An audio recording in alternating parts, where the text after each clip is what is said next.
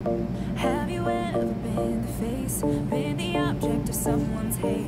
Like you stood all alone. Have you ever felt this way? Have you ever been betrayed? Labeled words you just can't say.